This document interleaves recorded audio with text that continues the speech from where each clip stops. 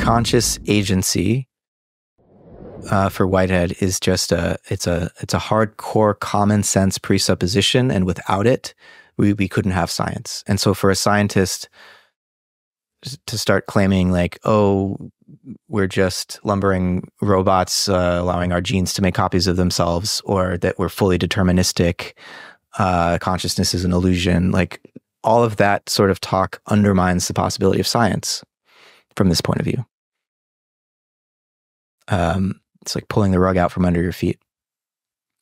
But Whitehead doesn't really try to elaborate on the place of mind in the physical world until later. Um, he's invited to Harvard in 1924 and starts teaching philosophy for the first time. Uh, before that, he had taught math, he had taught astronomy. Um, Harvard invites him to teach philosophy, and he'd been wanting an opportunity to to work out some of his metaphysical ideas. And so, in his first semester at Harvard, um, he ends up giving a series of lectures that became Science in the Modern World, his 1925 book, where he both gives a history of science and mathematics and begins to elaborate uh, what he calls his organic realism. And so, just like Schelling drew on and expanded upon what Kant had articulated in the Critique of Judgment about the nature of self organization, uh, Whitehead begins to develop this idea of organism or self organization as the basis for a new cosmology and wants to understand these scientific objects like like atoms um, as self organizing systems, which are in effect, um, tiny organisms. And just as organisms at the biological scale seem to have some degree of agency and interiority, he would say, you know, every self organizing system in nature, all the way down the scale, has some degree of minimal agency and interiority or experience. Now, the experience of a of an atom and the agency of, of an atom is is so minimal that we can we can devise mathematical laws to predict the behavior uh, of those atoms with you know, very high precision. There's very little in the way of um, free choice at that scale. Nonetheless, it seems, you know, at least on some interpretations of quantum theory, um, there's not complete determinism. There is moment by moment uh, an integration of what's already been actualized in the past with what remains possible in the future. And so part of what Whitehead's already doing in science of the modern world is, you know, quantum physics hadn't been fully worked out yet, but he's aware uh, that there are certain features of Newtonian mechanics that no longer are true. For example, um, simple location, the idea that a bit of matter can be its location can be understood independent of all other bits of matter. Like there's no more absolute space. And similarly there seems to be some kind of non-local entanglement. So he's trying to understand uh, the physical world without presupposing simple location and without presupposing that there could be any meaning given to the idea of nature at an instant it would seem that it takes a certain duration for even a photon to fully manifest as a photon. And so the idea that nature could be reconstructed out of freeze frames, instantaneous slices, for White, it no longer makes any sense. And so this is why he starts to think in terms of process, in terms of events. And rather than thinking in terms of substances, where you remember a substance is defined as that which requires nothing but itself in order to exist. For Whitehead, there is no such thing in the world. Uh, everything is bound up in a nexus of relations, and relationality becomes ultimate. Uh, there are entities which come into relationship, but every entity, actual entity in his terms, is itself a nexus of relations.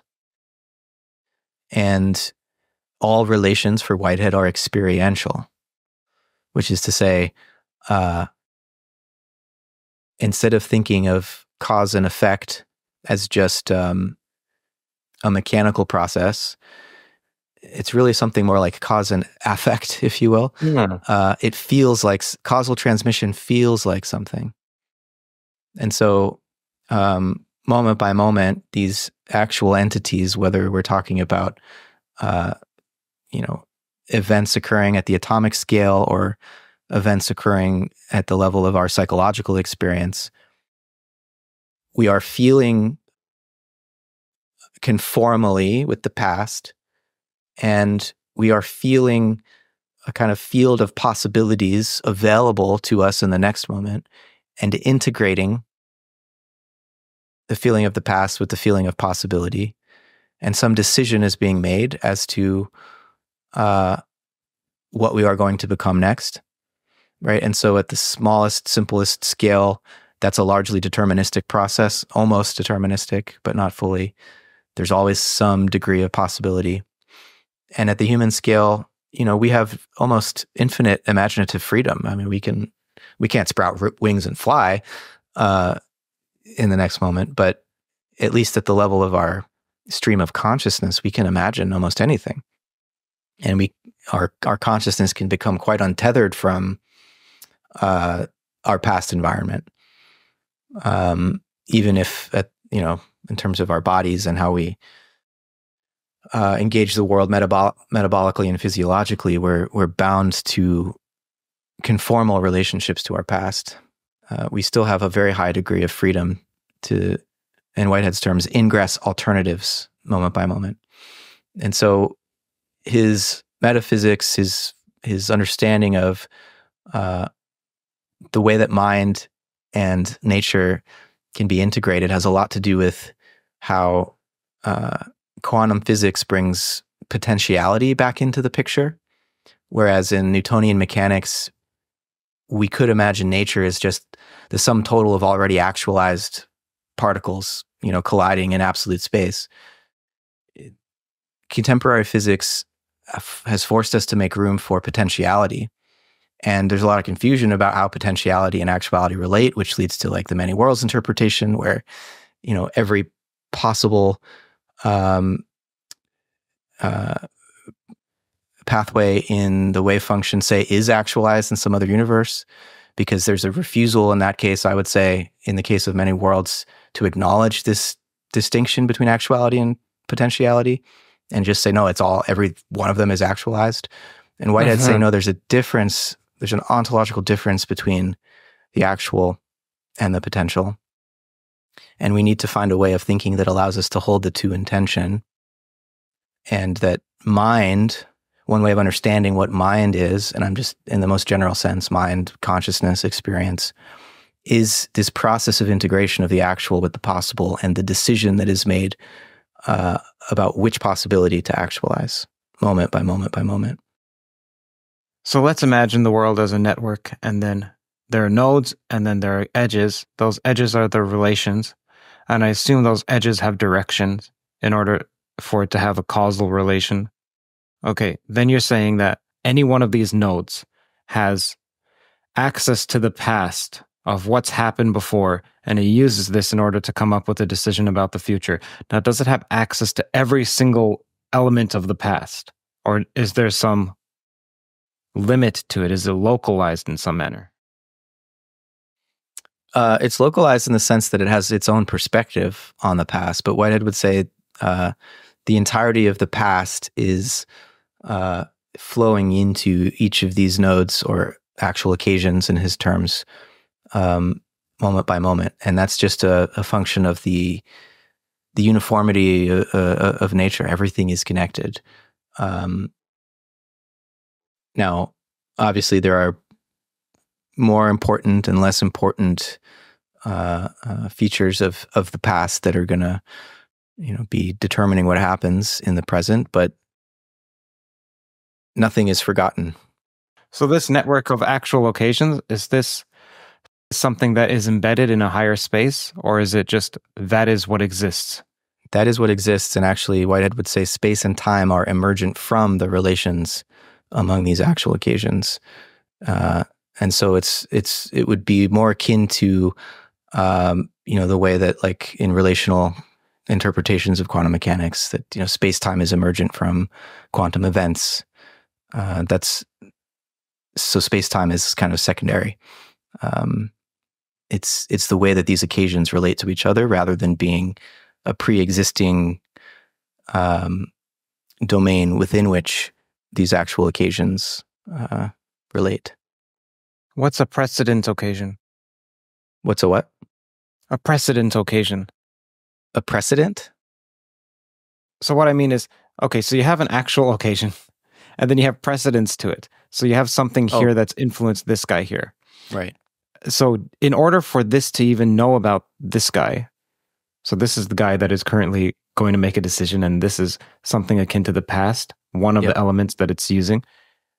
Does it have to go through each one of the intervening objects in order to reach out to it? Yeah. Uh, Whitehead would say that he says uh, the world is a medium for the transmission of feelings, and so you know there are these historical routes of occasions of experience.